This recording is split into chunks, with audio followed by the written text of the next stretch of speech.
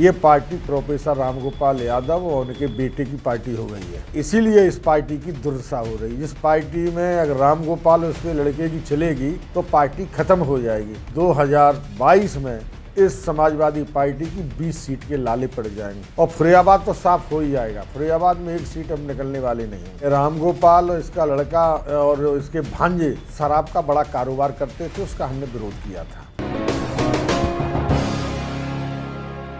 देखिए, हम लोगों ने पार्टी के लिए बहुत काम किया। नेताजी के साथ लोग तीस, पैंतीस साल से लगातार इस पार्टी से जुड़े रहे और पार्टी की मदद की और पार्टी की वजह से जनता की पूरी तीस साल से लगातार हम लोग सेवा कर रहे हैं। और पार्टी को मज़बूत बनाने में हमारा, हमारे परिवार का बड़ा योगदान रहा। क्षेत्र की जनता हमसे जुड़ी रही, हमारे साथ रही और आज भी हमारे साथ है। लेकिन अब हमारा मानना है ये समाजवादी पार्टी, आदरणीय नेताजी वाली पार्टी और मैं समझता हूँ कि राष्ट्रीय अध्यक्ष अखिलेश की पार्टी नहीं है। ये पार्टी प्रोफेसर रामगोपाल यादव और उनके बेटे की पार्टी हो गई है। और इसीलिए इस पार्टी की दुर्दशा हो रही जिस पार्टी में अगर रामगोपाल उसके लड़के की चलेगी तो पार्टी ख़त्म हो जाएगी। वो यही स्थिति रही तो 2022 में इस समाजवादी पार्टी की 20 सीट के लाले पड़ जाएँगे। और फुरियाबाद तो साफ़ हो ही जाएगा। फुरियाबाद में एक सीट अब निकलने वाली नहीं है। क्या माना जाए आपको किस वजह से निष्कासित किया होगा?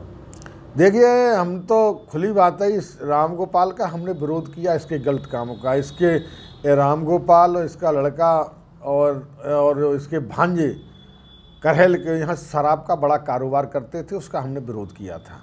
और इसमें प्रोफेसर रामगोपाल यादव और उनका लड़का, उनके भांजे, इस जो शराब का बड़ा कारोबार था, उसमें लिप्त है उसमें भाजपा के एक पूर्व मंत्री भी लिप्त था जयवीर सिंह। तो ये जयवीर सिंह को मज़बूत करने के लिए, भाजपा को मज़बूत करने के लिए प्रोफेसर ने हमें पार्टी से और हमारे बेटे को निकलवाया था। राम गोपाल हम पे आरोप लगाते हैं कि हम भाजपा से मिले। ये तो जनता जानती है भाजपा से कौन मिला है। राम गोपाल ने भाजपा से मिलकर इस पार्टी को ख़त्म कर दिया। अखिलेश जी समझ नहीं पा रही अभी।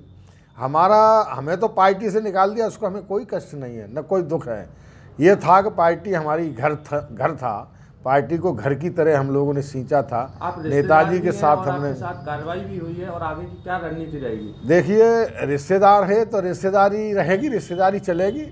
जब तक नेताजी हैं और परिवार में रिश्तेदारी तो टूटेगी नहीं। आगे क्या लेकिन जो पार्टी से हमें निकाला है। मैं समझता हूँ इसमें न तो आदरणीय राष्ट्रीय अध्यक्ष अखिलेशी का मन होगा हमें निकालने में और नेताजी तो कभी चाह ही नहीं सकते। न परिवार का कोई व्यक्ति चाहेगा कि हम पार्टी से निकाले जाएँ। लेकिन ये रामगोपाल की दादागिरी थी जो गुंडागिरी थी शराब माफियाओं से संबंध थे मिल के शराब का कारोबार चलाते थे उसका मैं विरोध करता हूँ। करता था इसीलिए उनको मैं पार्टी में अच्छा नहीं लगता था और इसका मैं गलत रामगोपाल के गलत कामों का विरोध में हमेशा करता हूँ क्या रणनीति रहेगी? देखिए आगे की रणनीति हम अपनी जनता से बात करेंगे और हमारी जनता जो चाहेगी वही हम निर्णय लेंगे। हम बहुत जल्दी अपने ज़िले के सभी इम्पोर्टेंट लोगों को बुलाएँगे और सबसे बातचीत करेंगे चर्चा करेंगे और चर्चा करने के बाद फिर हम कोई निर्णय करें? हमारी जो जनता कहेगी, वो निर्णय करें। देश दुनिया की ताज़ा तरीन खबरों से रूबरू होने के लिए सब्सक्राइब कीजिए आपका अपना चैनल एन भारत।